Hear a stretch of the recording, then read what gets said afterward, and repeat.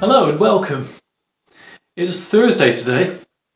I'm not sure if it registers on your calendar or not, but today is also Ascension Day, the day in which, down through the ages, the Christian Church has remembered those strange events that are recorded in Acts chapter 1, when Jesus returns to the Father's side.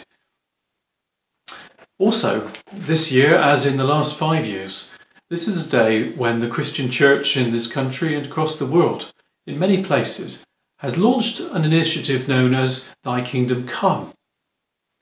Thy Kingdom Come is an opportunity between Ascension Day today and Pentecost Sunday for individuals and gathered as church to pray for people on their minds for that they might know Jesus Christ and his love in a much more clear and personal way.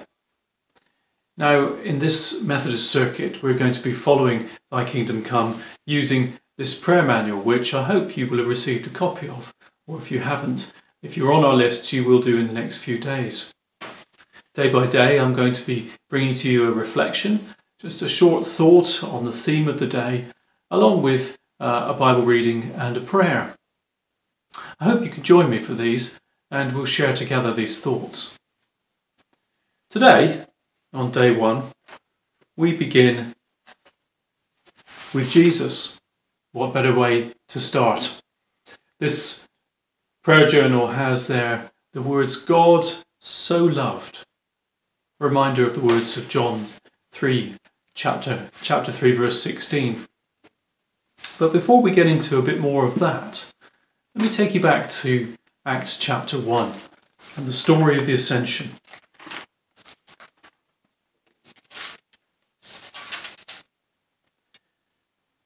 On one occasion, while he was eating with them, he gave them this command Do not leave Jerusalem, but wait for the gift my Father promised, which you have heard me speak about. For John baptized with water, but in a few days you will be baptized with the Holy Spirit. So when they met together, they asked him, Lord, are you at this time going to restore the kingdom to Israel? He said to them, It's not for you to know the times that the Father has appointed by his own authority.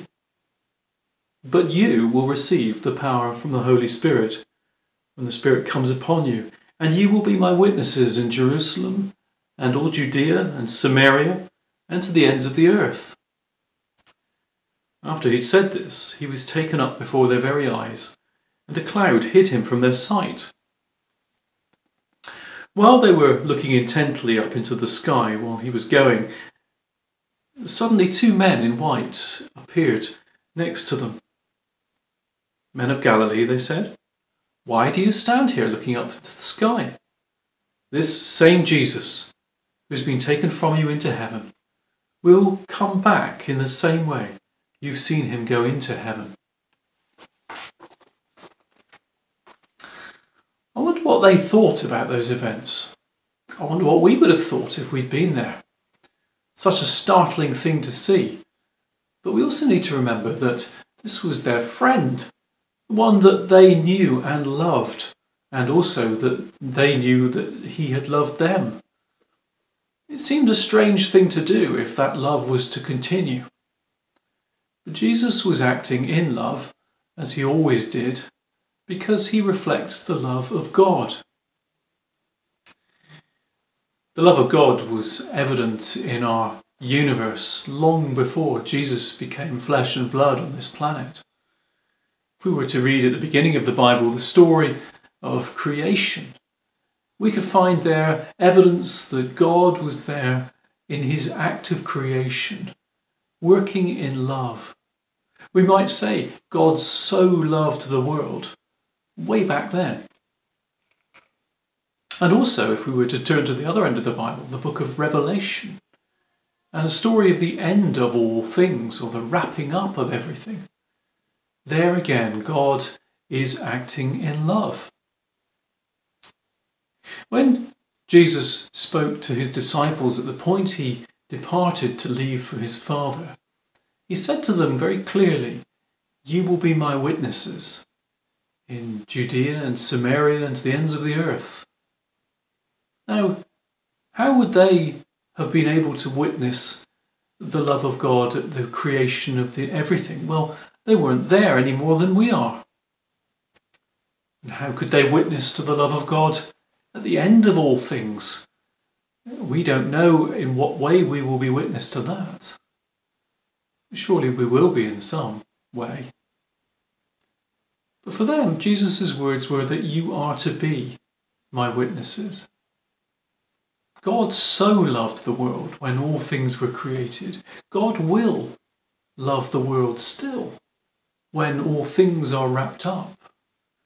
And now God does love the world.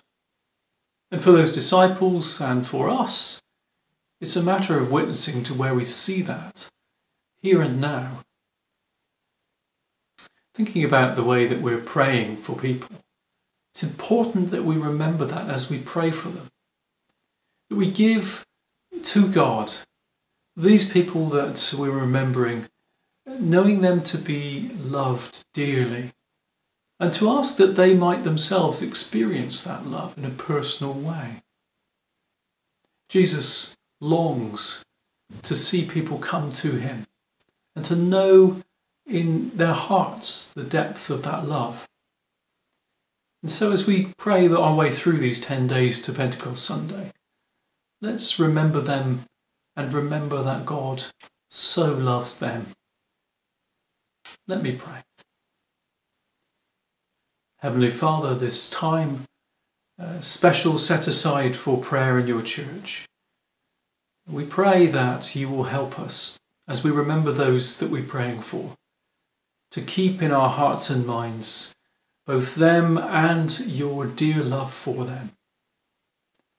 And as we ask in faith, we pray that your love might become evident in their lives and we dare to ask too that as we pray, you might stir us up more to know your Holy Spirit's work in love in our day to day lives.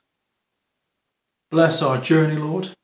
Bless all those who are watching this video, those who are involved in thy kingdom come around the world. And hear our prayer as we make it now in Jesus' name. Amen. I do hope you can come back again tomorrow and see more of these reflections from Thy Kingdom Come. Amen.